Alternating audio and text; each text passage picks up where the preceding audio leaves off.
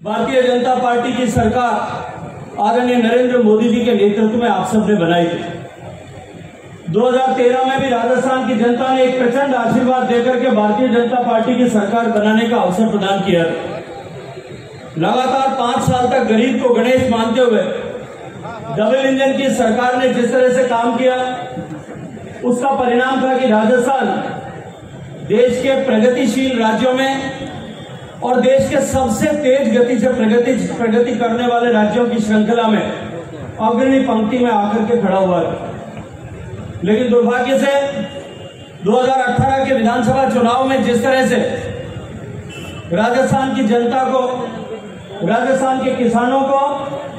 कर्ज माफ़ी के नाम पर और राजस्थान के युवाओं को बेरोजगारी भत्ते के नाम पर राजस्थान की माताओं, बहनों को सुरक्षा और सलामती देने के नाम पर जिस तरह से राजस्थान के लोगों के साथ धोखा कर वर्तमान सरकार सत्ता में आई, आज उस दुर्घटना का परिणाम